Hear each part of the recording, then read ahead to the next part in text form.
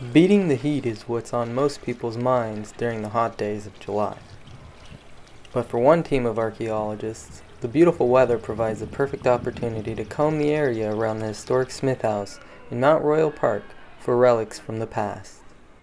The City of Montreal has commissioned Ethnoscop, a company that focuses on surveying land that is about to be developed, for the job of finding what's buried beneath Mount Royal and its environs. The team, led by senior archaeologist Christian Gates St. Pierre, have been working tirelessly in the summer heat to find what's buried at the foothills of the mountain.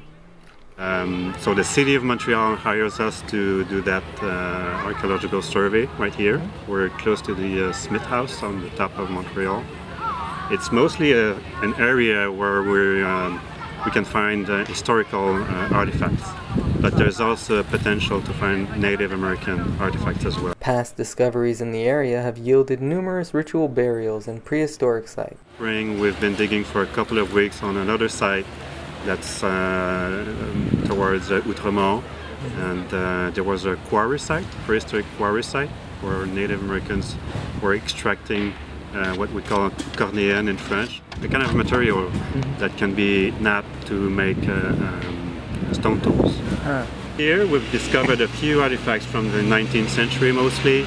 Uh, uh, nails uh, to, for the constructions of the, the, buildings because there were many uh, buildings surrounding that house which was at first a farmhouse. Mm -hmm. So there were uh, barns and uh, that kind of buildings that were built at that time but they're all gone today. There's only that house that remains extant.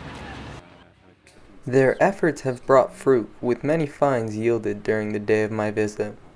Uh, fragments of bottles, of plates. Um, we found a nice um, uh, gaming dice. Mm. It was very, made of bone. Um, pieces of uh, ceramic dolls. Mm. So there were many different uh, activities that were going on. It's amazing what we can find if we bother to look for the history buried beneath our feet.